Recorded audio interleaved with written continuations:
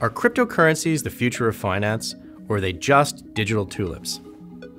These digital assets are dividing investors, academics, and entrepreneurs, but they've also made some of their founders and early investors incredibly rich.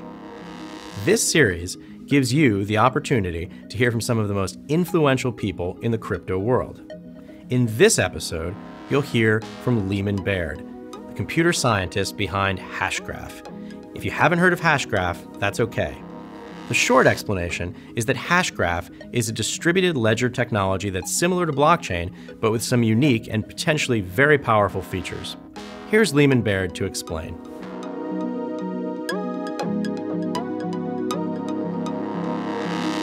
So let's talk about what are distributed ledgers.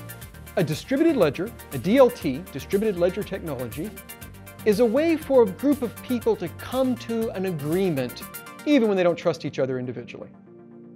Or more specifically, it's a way for a bunch of computers to automatically come to an agreement on something, even though the owner of this computer doesn't really trust the owner of that computer or the owner of that computer. But we do at least trust that the community as a whole doesn't have too many bad apples in it. So maybe I don't particularly trust the person running any of these one computers, but I trust that the group as a whole doesn't have, you know, a third of us being evil. I trust that it's less than that. There's only going to be a few bad actors if there's any at all. If you're in that situation, a distributed ledger can make you trust the decisions of the group 100%. You can create real money, cryptocurrencies, out of thin air that then have real value. You can store information and be guaranteed that everybody is seeing the same thing. I don't have two, I'm not cooking the books and keeping two sets of my records. You can be guaranteed everyone's seeing the same thing. You can be guaranteed that we're playing a game and that the rules are being enforced fairly, even if I don't trust any one person. I don't have to trust the one person running a server to do the right thing. It's the community as a whole that is enforcing it.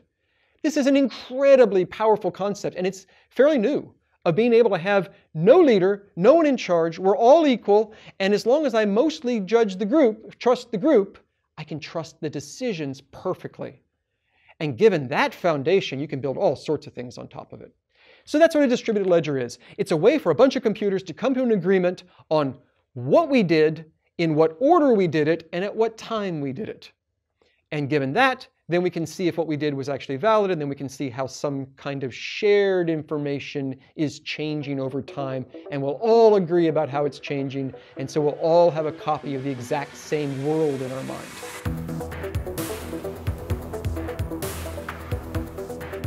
So one of the most exciting things in the last decade has been Bitcoin. So what is Bitcoin? What does it do? Why is it exciting? And how does it work? So here's what Bitcoin is. The idea was we want to have a new kind of money. It's fun to hear economists talk about it. Cryptocurrencies are a new kind of money in some ways. They're not really money, they're a different kind of thing, better in some ways.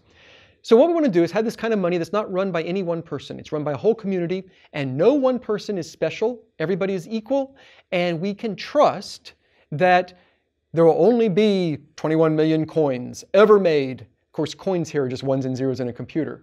But we want to make sure that we're going to be spending this money and making sure that it's uh, the, the money supply is constant. So each person has some money, and if I give you some of my money, we're going to make sure that everybody agrees that I no longer have it and that you now have it. This is what we need for a cryptocurrency. We need for everybody to agree on how much money each of us has, and everybody agrees that when someone transfers the money, it was deducted from the original person and added to the next person, so that the total amount of money is constant. So how can Bitcoin achieve this of making sure that the money doesn't get duplicated. You don't double spend. I don't spend my one coin at two different stores and now both of them have the coin. The way we do it is we come to an agreement on the ordering of the transactions. And that's basically all we have to do. If I spend, if I have one money, one coin that I own, and we all agree that Leemon owns one coin, and I spend it at Alice's store, and then I also spend it at Bob's store at the same time, I'm cheating. I'm trying to buy two different things with one coin the community as a whole is going to have to come to an agreement. That spend at Alice's store and that spend at Bob's store, which one came first? And then whichever store they decide I came first at, that store gets to keep the coin. And the other store is out of luck. They got a fake transaction. They got me spending a coin I didn't own. It's like me selling you the Brooklyn Bridge. So what we have to decide as a community is the ordering of the transactions. And once we have that, then we can all keep track of where all the money goes. And so we all agree that the, the spinning at Alice's store came first. So we all agree that Alice's balance just went up one coin and my balance went down one coin and poor Bob doesn't have anything happening with him. As long as we can agree on these transactions and we can agree on their order, all is well. We have actually created a new kind of money. Here was the idea for Bitcoin. Any one person in our community that wants to can create a block. A block is just a list of transactions. And we have this sequence of blocks. And because we have the sequence of blocks and the transactions are inside, we have a sequence of transactions. And so now we've put all of our transactions in order and we can create a cryptocurrency. Oh, wait a second. Here's a slight problem. Alice tries to add another block to the stack, to the chain. And Bob tries to another, add another block to the chain at the same time. The chain forks, and now each of these two forks start growing, but after a while, this one's a little bit longer. Well, that means everyone's going to try to add to this one because it's the longer one. So it'll get even more longer. And then they'll keep adding to it. It'll get even more longer. And pretty soon we're all going to realize this one is so long, we can just throw this one away. It's never going to get extended. It doesn't count. And all these transactions now get erased and they didn't happen. And this is a disaster. Because maybe I spent some money in Alice's story in her branch, and I spent some money in Bob's story in his branch, and now which one's the real one? I don't know the ordering anymore. We can't deal with it. The whole system dies. So we have to do it slowly. The whole core of Bitcoin is let's slow it down. We need to make sure that anybody can add on to the chain, but not very often. We need to make it really slow. So here's what we do we tell everybody, please solve a really hard math problem that takes a supercomputer a really long time to solve.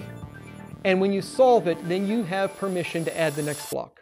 Leemon Baird is incredibly passionate about distributed ledger technologies, which are the kind of networks that power cryptocurrencies and newer technologies like Hashgraph. While listening to Leemon explain how distributed ledgers work, I was struck not only by the depth of his knowledge, but about how early we are in the game with distributed ledger technologies. The core challenges of digital assets are still being sorted out. How do we reach consensus about the transactions created on the digital ledger? How can we be sure digital coins aren't spent more than once? How do we validate the sequence and authenticity of the transactions? Questions similar to these inspired Leemon to create Hashgraph. But who will find the definitive answers, and which specific coins and ledgers will be the ones that ultimately catch fire? That's something we'll probably all have to wait a little bit longer to find out. Thanks for watching. For Real Vision, I'm Ash Bennington.